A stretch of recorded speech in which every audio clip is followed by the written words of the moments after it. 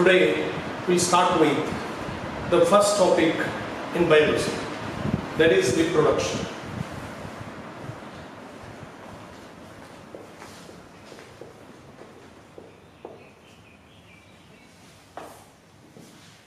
In reproduction, we have got to discuss about four parts. One is reproduction in organisms. In that topic, we'll discuss about types of reproduction and some terminologies which are used in the further topics. And second topic is reproduction in flowering plants. With respect to flowering plants, how the reproduction is taking place. That we are going to discuss. And third topic is human reproduction. How the reproduction takes place in human beings. And the last one is human health and diseases. Today, it's time to discuss about, in general, reproduction in organisms.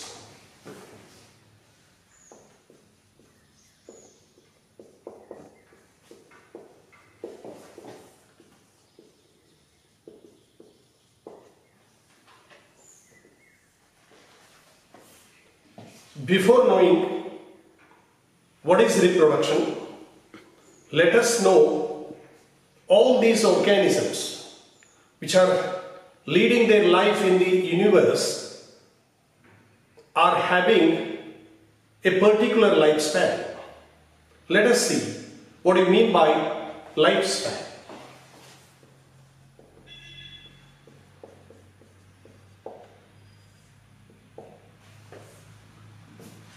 Lifespan is a period between birth and natural death. That is a lifespan as well. A period between birth and natural death. The duration between the birth and natural death is said to be lifespan. And one thing you remember if a one mass question is asked, what is lifespan?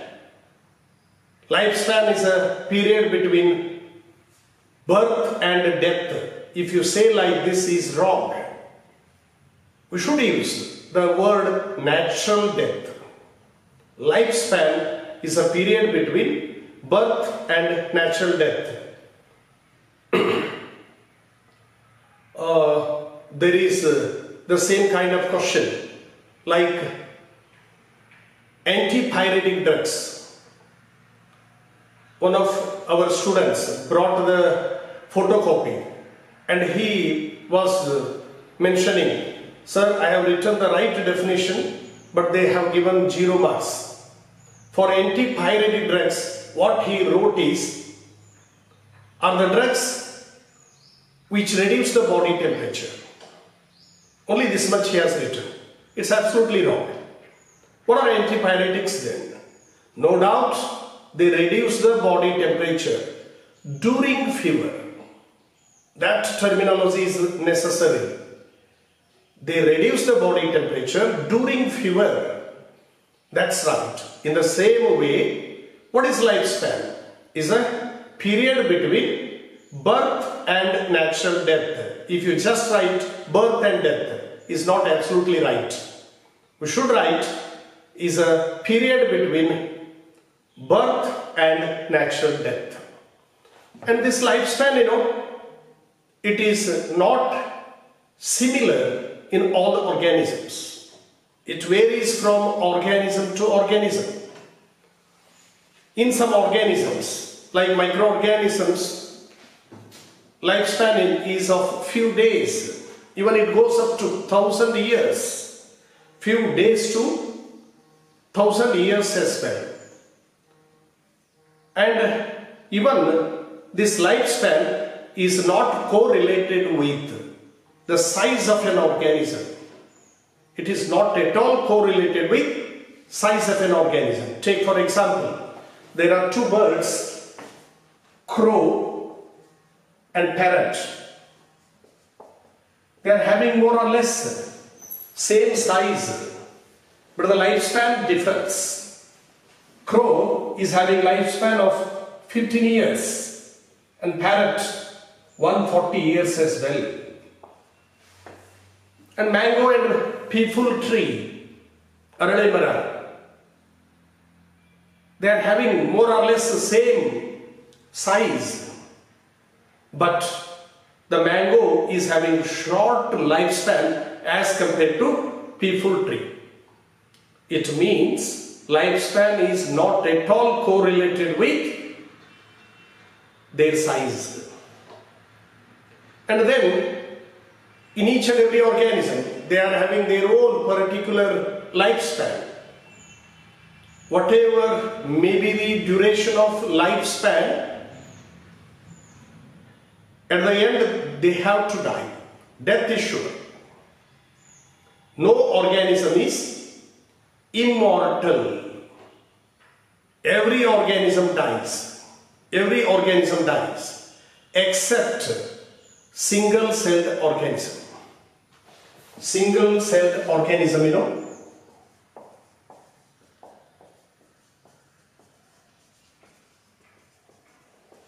They are immortal. They don't have natural death. Those single celled organisms, you know, they don't have natural death. They are destroyed. They don't die by themselves, by natural death. They are immortal. But almost all the organisms are mortal as well. Mor- mortality, death, natality, birth, like that. No organism is immortal. Every organism is mortal. And uh, even in uh, single-celled organisms, you know, even uh, the interesting uh, modifications, manipulations, they do have whenever the conditions are unfavorable. Take for example, the bacteria. Whenever the conditions are favorable, it reproduces by binary fission. If the conditions are unfavorable, around the cell wall, a thick wall is formed. And that thick wall is made up of dipicolinic acid. Dipicolinic acid. And the inner content is survived. When the conditions become favorable, the inner content becomes 2 to 4 endospores and that uh, thick wall will be broken. Those endospores are released and those released endospores become daughter bacteria as well. So that it survived under unfavorable condition. In case of protozoans, a cyst formation takes place. In case of uh, uh, blue-green algae like uh, nostoc, there is a a food storing cell, a akinete is there. They are all perennating structures. They are all perennating structures. Remember, all the organisms are mortal, but single celled organisms are immortal because they don't have natural death. That's all. And now, these organisms with different lifespan are survived and their progeny is continued.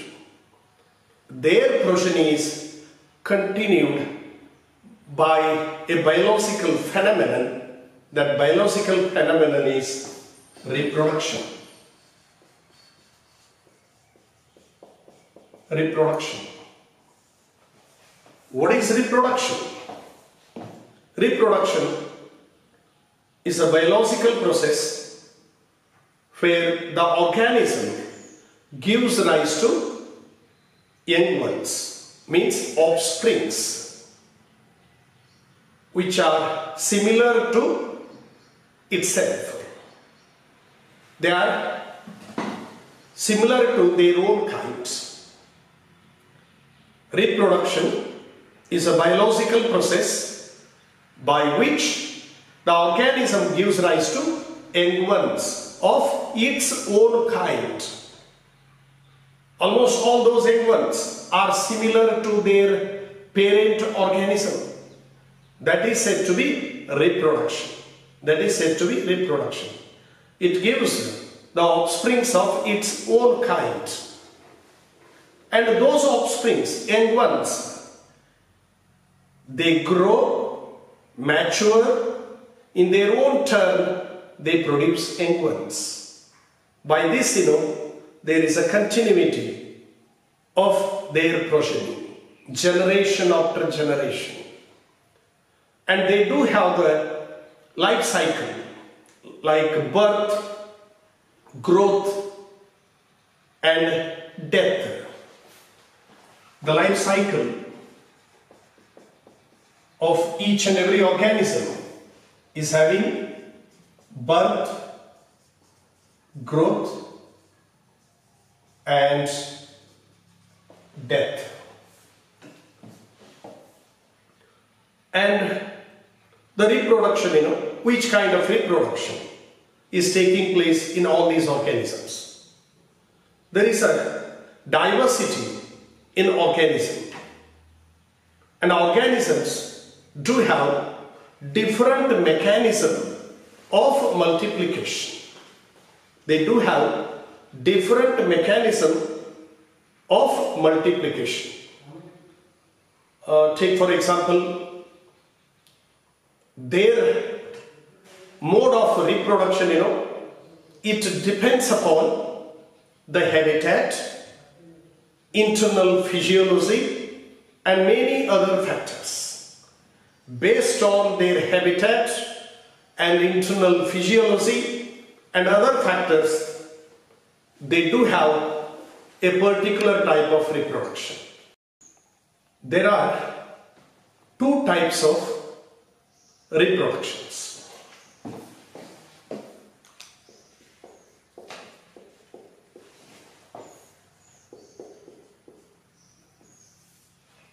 One is asexual reproduction. Second one is sexual reproduction. Asexual reproduction and sexual reproduction. Asexual reproduction is one where offsprings are produced by single parent. Offsprings are produced by single parent with or without involvement of gamete formation. With or without involvement of gamete formation. That is asexual reproduction. The young ones or offsprings are produced by a single parent with or without involvement of gamete formation. Hence, asexual reproduction is otherwise said to be uniparental inheritance. Uniparental inheritance as well because single parent is involved in reproduction. And second one is sexual reproduction. Here, young ones are produced by the participation of two parents of opposite sex.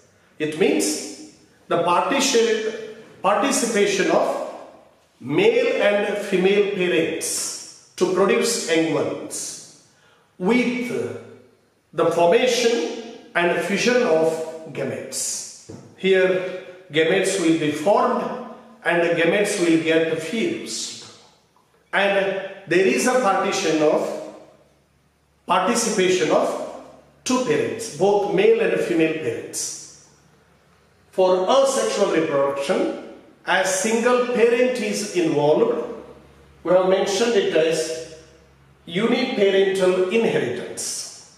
In sexual reproduction, there is an involvement of two parents so that this sexual reproduction is also named as biparental inheritance. Biparental inheritance. In uh, asexual reproduction, only the involvement of single parent as well with or without formation of gametes and is also named as uniparental inheritance.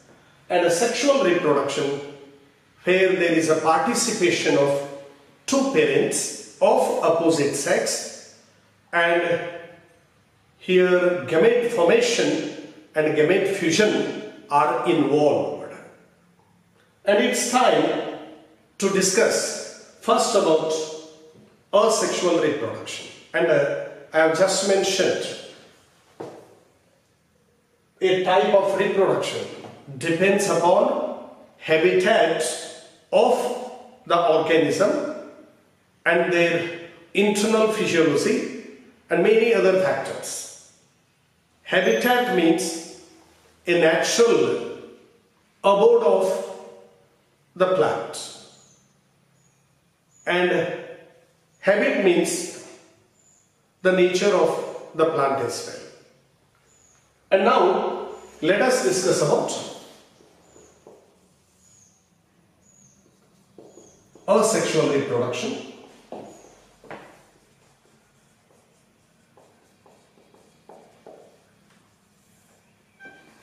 You know the definition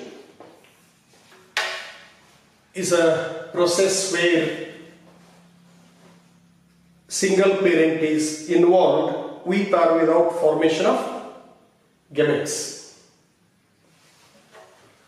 It is taking place usually in unicellular organisms. Unicellular organisms. In unicellular organisms, we do find asexual reproduction uh, monerans and protista members where asexual reproduction is there. Take for example a moneran member like bacteria and a protista members like uh, protozoans like uh, amoeba and paramecium. They reproduce by binary fission. by binary fission. A Monera member like bacteria and protozoans like amoeba and paramecium. They reproduce by binary fission. It's a very common type of reproduction in bacteria, amoeba and paramecium and here a single parent is involved. That's why binary fission is a asexual reproduction. And in the similar way, bud formation in yeast, a Saccharomyces cerevisiae, yeast, a fungi, is a unicellular fungi. Here what happens is a unequal sized outgrowth is formed. And the content of that main cell divides and enters into that leading to the formation of a bud. And the bud formation takes place one after the other there will be a pseudomycelium is formed a false mycelium is formed and those buds, when they detach, they become a new offspring. So that bud formation is asexual reproduction in yeast. And the next is zoospore formation. Example, a unicellular algae-like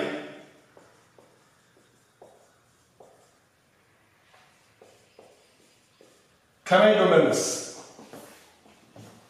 Here the inner content splits into many movable spores, zoospores and they give rise to new chlamydomonas.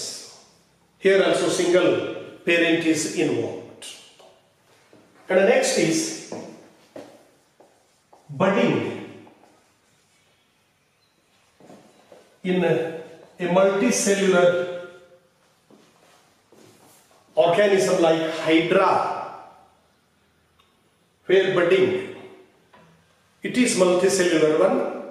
Uh, at lateral side, some buds will form, just like in plants. Here also buds will form. When they detach, they become new Hydra. And in Hydra, asexual reproduction is budding. Gemmules. In case of sponges, a multicellular organism.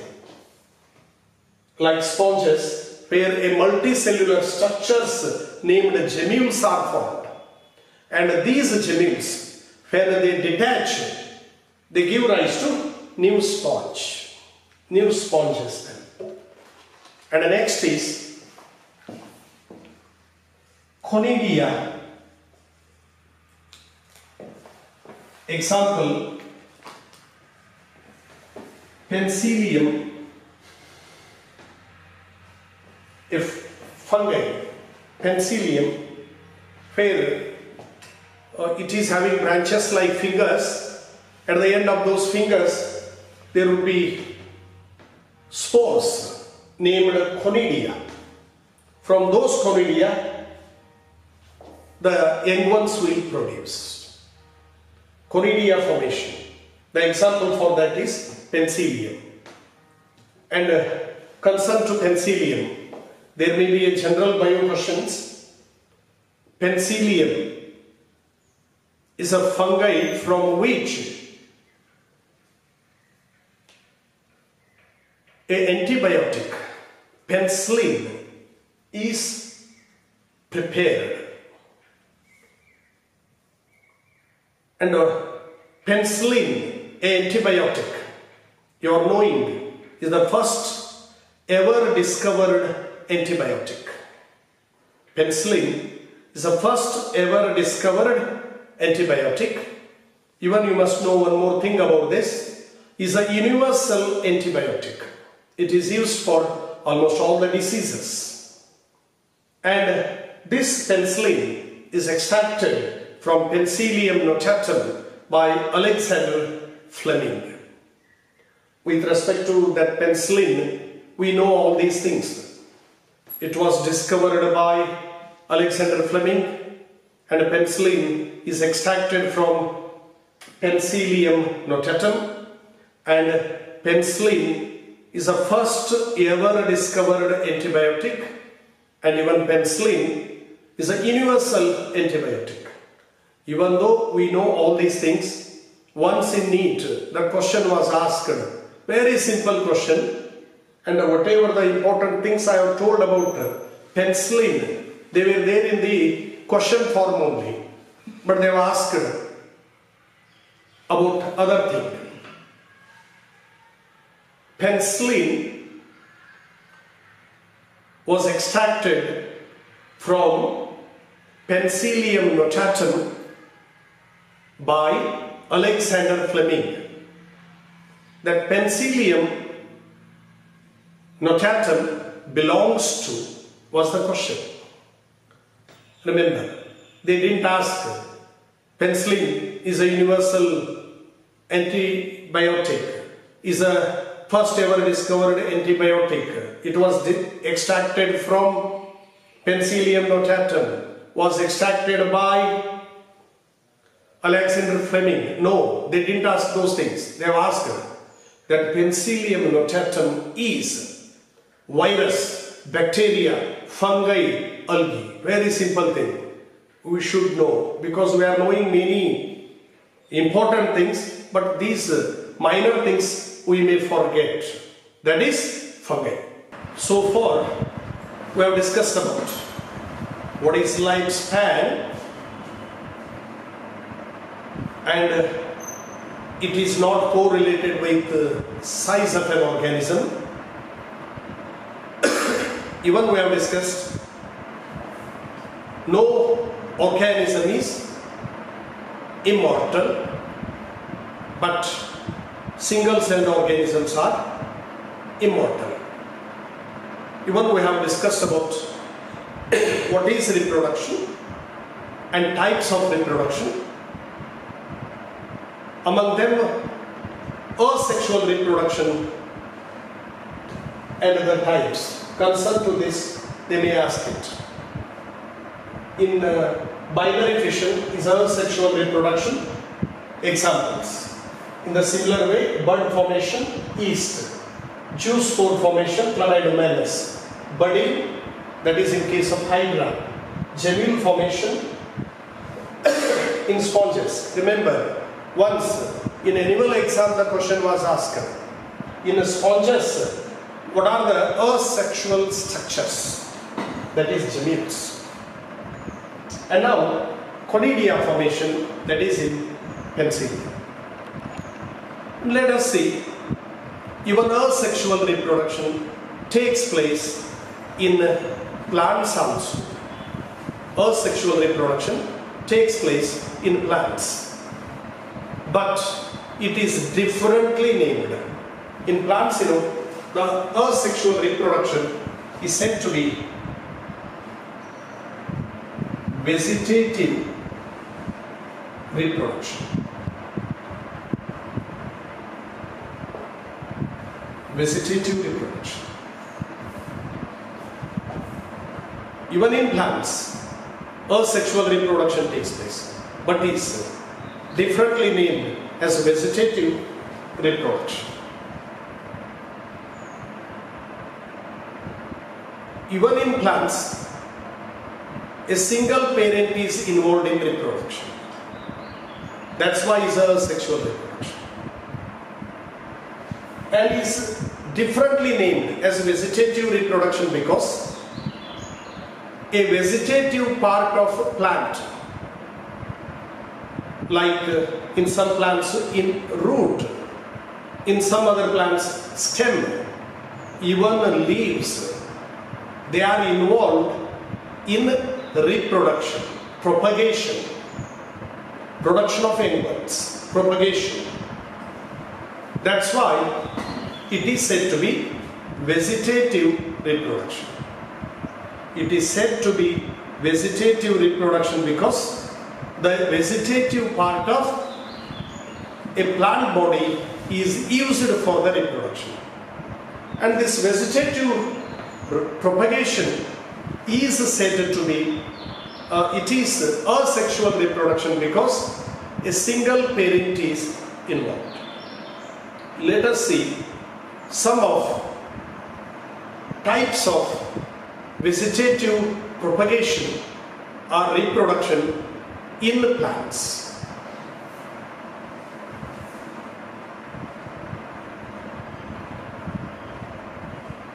Runner. Example Oxalis. Runner is a subaerial stem modification. This is meant for vestigial propagation. See here, at nodal region it gives roots below and leaves above. And internode obliquely grows upward and bend downward. And at nodal region it touches the ground roots below and leaves above. It grows like this only continuously in all the direction. It grows in all the direction. Here the internode It is obliquely grown upward and bent downward. And this is said to be runner. For propagation, you know, what we have got to do is this runner is cut so that we do have three young ones. And these are used for propagation, multiplication, reproduction. This is a vegetative reproduction in oxalis, where nodal region roots are developed below and leaves above, but the internode grows obliquely upward and bend downward and rooted at nodal region as well. If we cut that internode, which is said to be runner, we do say we do get seedlings, young ones for vegetative propagation. And second one is offset. Example, water hyacinth. There will be no much difference between runner and offset. It is a sub-aerial plant. It grows on the soil surface. But uh, water hyacinth, you know, it grows on the water surface, is aquatic plant. And here also at nodal region, it gives uh, roots below and leaves above. The internode is short and grows straight, but here it grows obliquely upward and bend downward. It grows straight and it gives out roots below, leaves above in all the direction.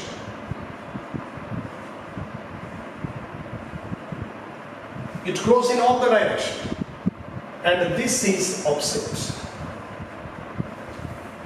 And if it is cut, they become many seedlings. They are meant for vegetative propagation.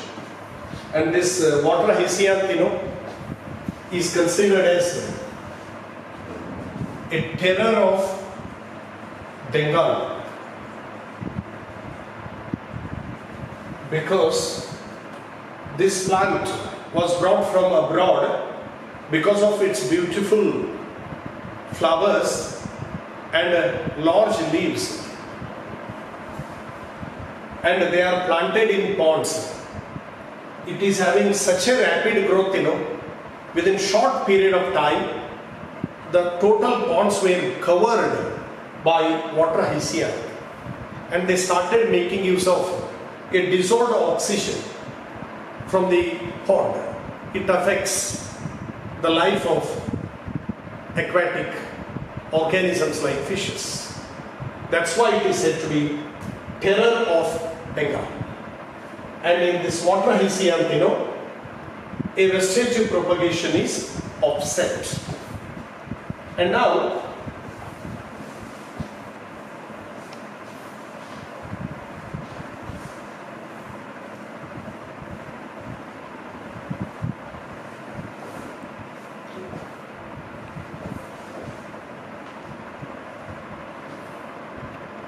rhizome.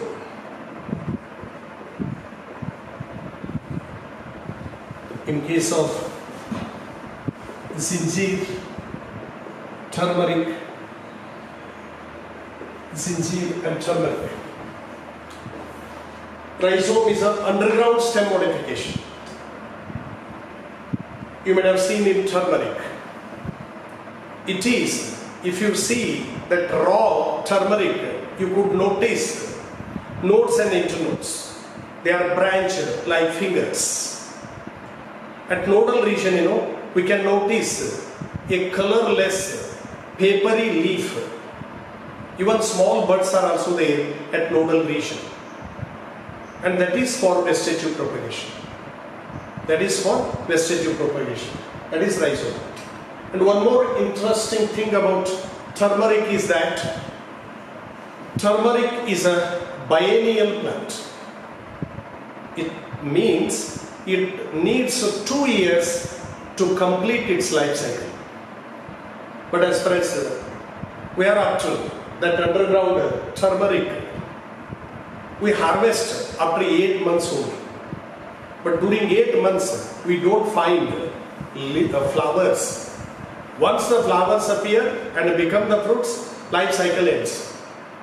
But we do premature harvesting because we are after a turmeric for the purpose of food.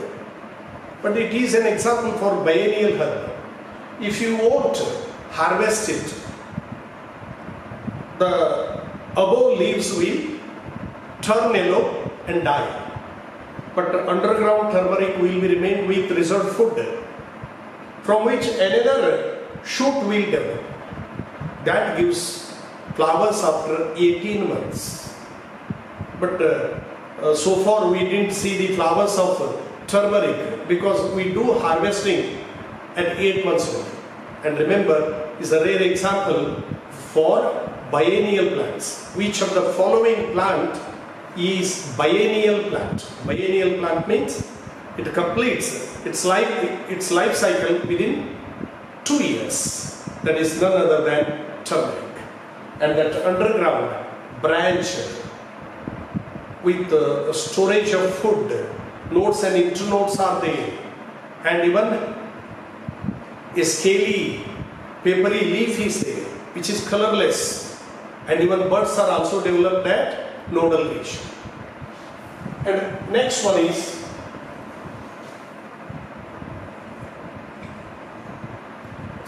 leaf buds. This is there in case of bryophyllum.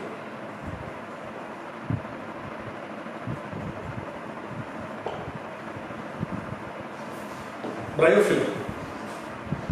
Bryophyllum, a thick leaf. We do find a buds at its margin. Its uh, vegetative propagation is very interesting. For that, you know, we have to use the leaf. The margin of that leaf is provided with buds. If we cut the leaf and planted in the soil, from those buds, new plants will develop. New plants will develop. That is leaf buds. That is leaf itself is meant for vegetative propagation. That is in case of bryophyllum. Tuber. Example, potato. Potato, you know, is a underground stem.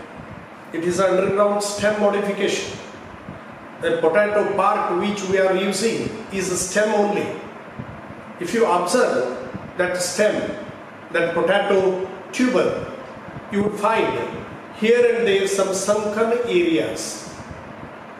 Those sunken areas are commonly named as eyes, where you would find small nodes or buds. Those eyes are nothing but nodes only, nodal regions only, where we do find small buds. For its vegetative propagation, you know, we have to cut that potato into small pieces and buried in the soil, they give rise to new young plants. A single plant is used here for the reproduction. In the similar way, bulbil is a multicellular structure de- developed in case of again is a vegetative propagule and sucker. Example, amaranthus. Amaranthus plant, you know, the main plants with leaves. This is soil surface and part of it is uh, a part of stem is aerial and part of stem is underground with roots as well. From this un- underground stem, the branches are developed.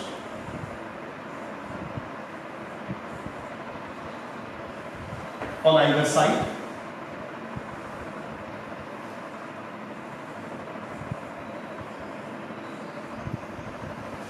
And these are nothing but suckers.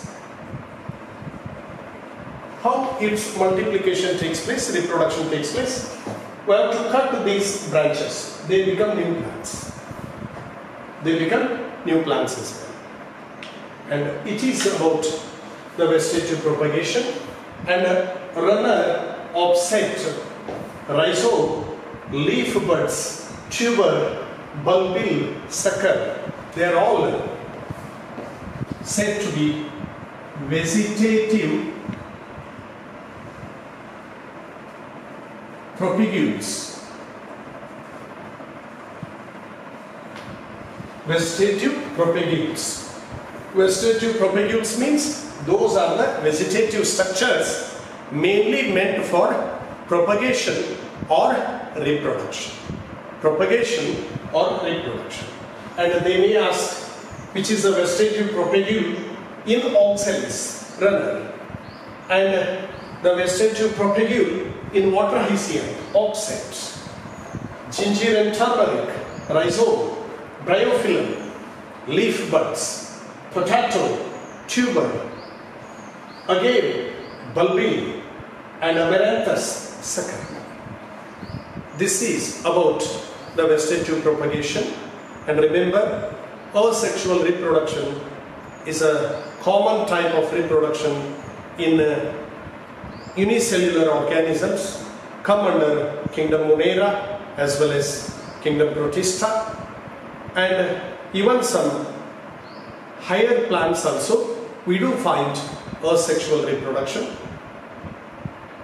Uh, in higher uh, in plants some unicellular algae and fungi asexual reproduction is there. Sometimes, you know, when the adverse, adverse condition comes, in those organisms, sexual reproduction starts. And remember, in those lower plants, the sexual reproduction comes to survive the plant as well in case the sexual reproduction is facing adverse condition, it never die. It enters into sexual reproduction so that it survives. Sometimes sexual reproduction survives those plants as well. And uh, those higher plants where we do find both asexual and sexual reproduction.